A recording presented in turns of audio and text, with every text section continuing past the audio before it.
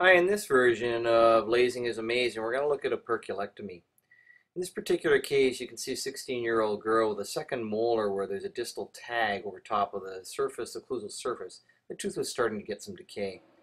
We used a laser 1.4 watts in continuous wave in a stitching type motion up and down to remove the tissue tag that was lying over top of the distal of this tooth. You can try and drag the laser over top of the tissue, repeatedly going deeper and deeper. But what I find is that this tissue is fairly thick, fairly keratinized, and not the easiest to remove.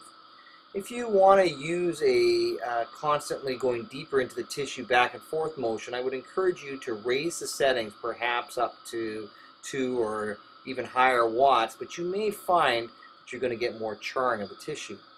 So after repeatedly going up and down, I grabbed the tissue tag with a pair of cotton pliers and tried to make more of a distal wedge shape going back and forth, and gradually the piece was able to be removed. You can see there's some slight tissue tags, but the whole occlusal surface of the molar has been cleared, and now there's a greater ease for the patient to clean. So in order to clean up these tissue tags, one of the things I prefer is hydrogen peroxide. I use this in an Ultradent syringe with a um, brush of it. This is obtained from uh, Ultradent. And scrub it back and forth.